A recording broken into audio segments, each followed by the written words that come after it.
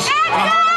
Only my few, uh, only four top four riders are going over now to the final race here. The boys category 11 and 13 years old. Met Kimmo Webster, Hoeka, Elvis Martin, Bataillard, uh, Van der Wijst Van Eindhoven, Maxje voor Nederland in the lead. Ladies and gentlemen, one of the two Kimmo brothers is taking away again.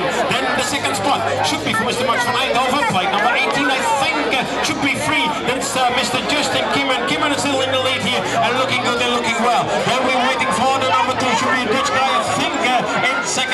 whatever. Het is nog in de plaats nummer 3, dan de 32 ook op koers. En dat is uh, Benjamin Wataya.